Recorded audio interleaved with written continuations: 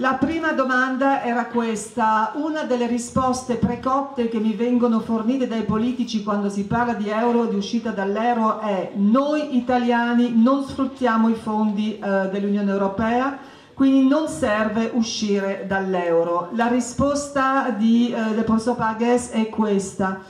I fondi europei, europei, sono del tutto insufficienti per ricostruire eh, l'Europa e l'uso dei fondi europei è strettamente eh, controllato dalla Commissione europea. Quindi eh, non bisogna assolutamente che questi fondi europei vadano a contrariare la messa in, atto della politica eh, di austerità. Seconda domanda, che ruolo può avere Mélenchon all'interno del governo Hollande? Può portare un parziale spostamento a sinistra delle politiche francesi? La risposta è personalmente mm, penso che tutto sia possibile nello scenario politico francese, ma per ora appunto tutto dipenderà da quello che succederà fra un mese, ovvero le, legisla le legislative in Francia e anche dal numero di voti che raccoglierà eh, il Rassemblement eh, de Gauche. Terza, ah no, poi c'era un'altra domanda, da dove provengono i dati di Pargues sull'economia di Francia, Germania e USA? Allora, i dati per quanto riguarda gli Stati Uniti sono tratti eh, da studi e statistiche ufficiali del Congress Budget Office e dell'American Office of Labor. Per quanto riguarda la Francia più o meno le fonti sono le stesse, ovvero i dati che sono pubblicati dal Ministero degli Affari Sociali, per quanto riguarda la Germania sono i dati del consigliere economico presso la eh, cancelliera. Poi, terza domanda, in base a che cosa le banche prestano o non prestano soldi alle aziende e in base a cosa vengono decisi i tassi di interesse? Allora, le banche eh, decidono in base alle scommesse che fanno, accettano sul successo o meno eh, delle eh, proiezioni e delle aspettative delle aziende. Per quanto riguarda i tassi di interesse, i tassi di interesse sono stabiliti dalla banca in base all'obiettivo che si dà alla banca di accumulare eh, risorse e quindi eh, la eh, banca eh, centrale non ha più nessun controllo oggi eh, sui tassi di interesse effettivi. Quale banca centrale? Which central bank? Uh, anywhere, anywhere. Qualsiasi banca eh, centrale. Quarta domanda, definire meglio il ruolo dello Stato e la banca centrale all'interno delle politiche di spesa positiva del circuitismo il ruolo della crescita delle spese statali per, mh, a, dedicata agli investimenti di lungo termine per creare ricchezza umana e non umana, questo ruolo è la condizione di esistere per una vera crescita di lungo periodo che realizzi la piena occupazione e che massimizzi il livello di benessere. Queste spese sono ovviamente il riflesso del, fra virgolette, buon deficit, buon disavanzo, ovvero sono quelle spese che si manifestano, prendono forma nell'economia moderna attraverso la creazione netta di moneta nei bilanci bancari per il settore privato complessivamente quando lo Stato ha il eh, controllo della, eh, sulla banca centrale, le banche non eh, svolgono, non svolgono più il ruolo di intermediario di ultima istanza. Poi il mercato finanziario, cioè in altri termini, il mercato finanziario non svolge più alcun ruolo in questo caso e il problema del debito pubblico non esiste più. Quinta domanda. Con l'MMT eh, lo Stato crea ricchezza netta mettendo moneta a deficit eh, senza chiedere un ritorno economico. Con la teoria del circuitismo come è possibile creare ricchezza netta se, da quanto ho capito, le banche quando prestano moneta alle imprese poi chiedono indietro, lo chiedono indietro come se fosse un vero debito?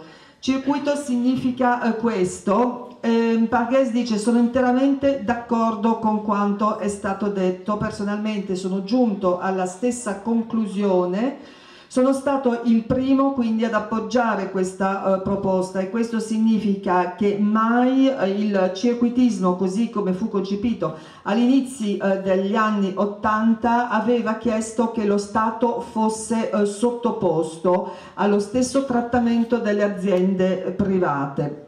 Sesta domanda, attacco speculativo alla lira nell'82 per imporre l'entrata nell'euro e l'austerity. E attacco oggi speculativo al debito italiano per imporre misure di austerità e privatizzazioni. Senza politica monetaria siamo fregati, la risposta è sì. E quindi a mio parere um, son, cioè, per quanto mi riguarda io sono in disaccordo con i uh, post keynesiani sull'unico ruolo della politica monetaria che deve essere ausiliare alla politica di bilancio il problema è che oggi la BCE non serve più a nulla.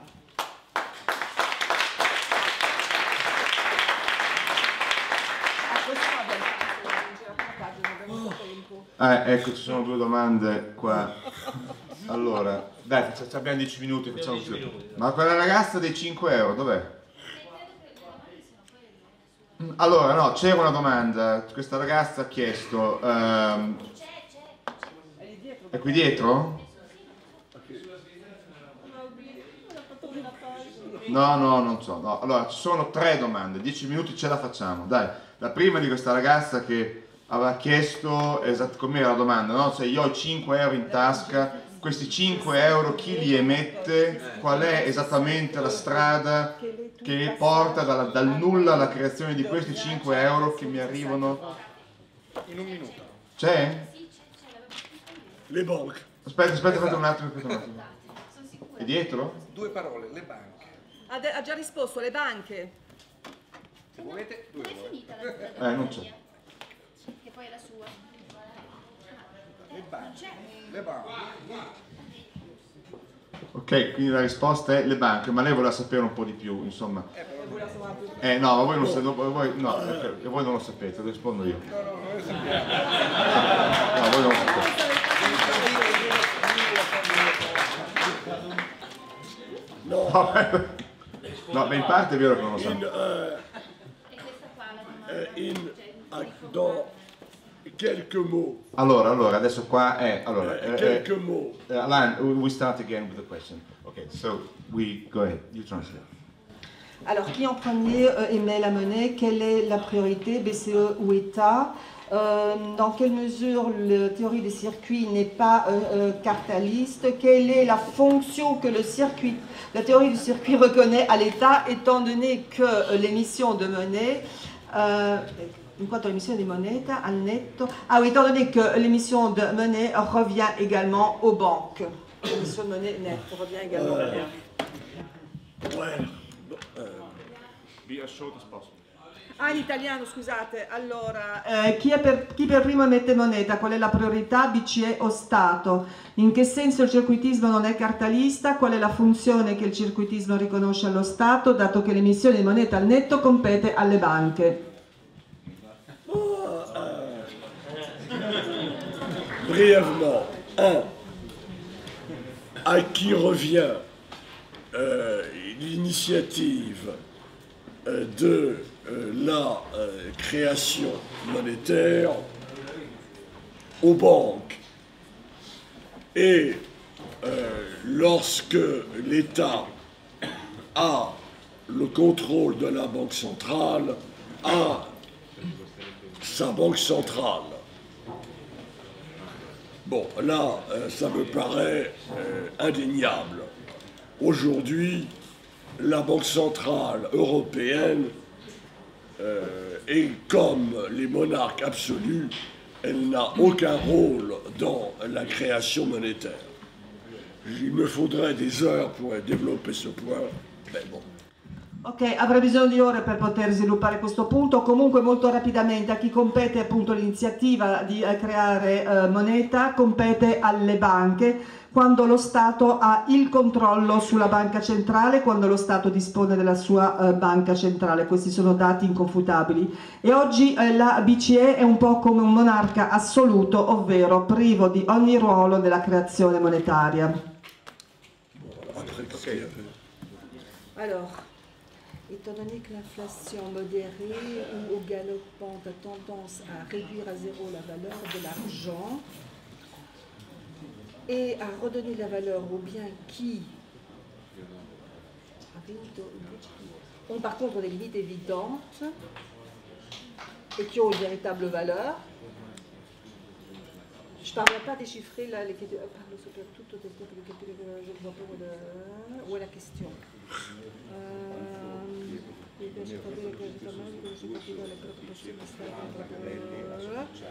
Ne faudrait-il pas euh, la ramener comme le cheval de bataille Enfin, ne faudrait-il pas l'utiliser en tant que cheval de bataille au lieu d'en avoir comme Allora, la, la domanda è molto lunga, comunque dato che l'inflazione ha tendenza a azzerare il valore del denaro e a ridare valore ai beni, eccetera, non bisognerebbe utilizzarla come cavallo di battaglia invece che averne una paura fottuta.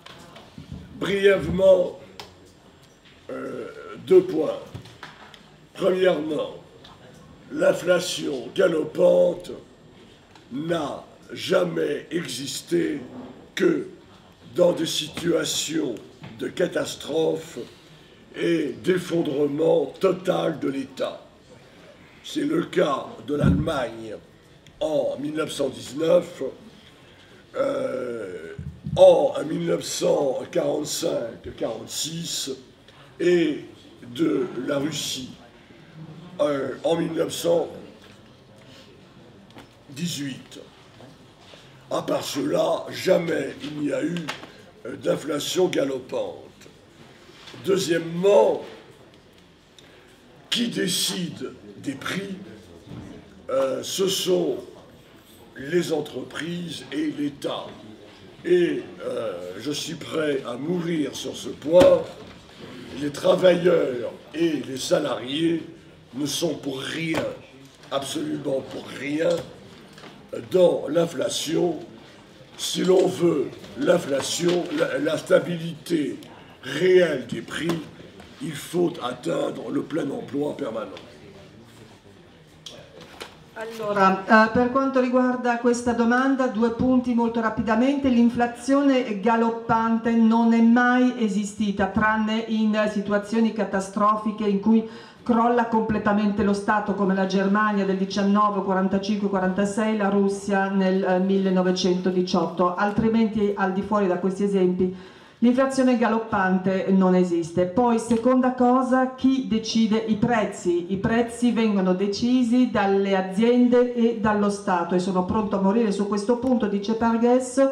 I lavoratori non hanno niente a che vedere con l'inflazione. Se si vuole la stabilità dei prezzi, bisogna giungere alla piena occupazione permanente. E poi la troisième question. Euh, Ultima domanda. Est-ce que vous pourriez justement nous citer les sources concernant la complicité de l'Opus DI Où est-ce qu'on peut trouver justement la preuve de tout ça? Euh. avec, et avec euh, la complicité de l'Opus DI avec euh, Hayek La domanda è ehm, le fonti sulla complici- complicità tra Opus Dei e le idee di Hayek, quali sono le fonti, fonti a scopo divulgativo? Je dirais que si j'étais un professeur de droit américain, c'est une complicité, pas association. Vous la trouvez sur le site web de l'Opus Dei et dans euh, le bulletin de l'Opus Dei, publié notamment le jour de la canonisation de son fondateur, Enrique Balaguer,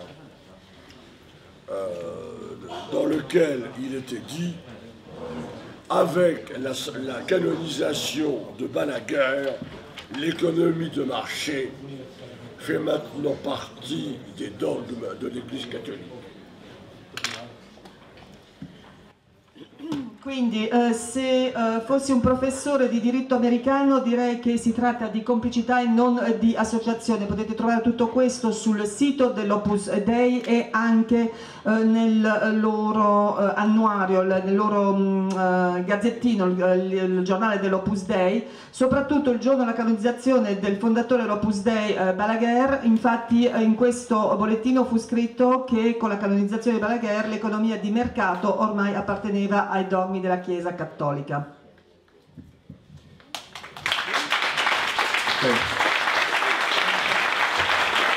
Allora, adesso sono, sono le 6 e eh, io faccio la mia conclusione. Ok, ciao, buon lavoro. In piedi voi tre.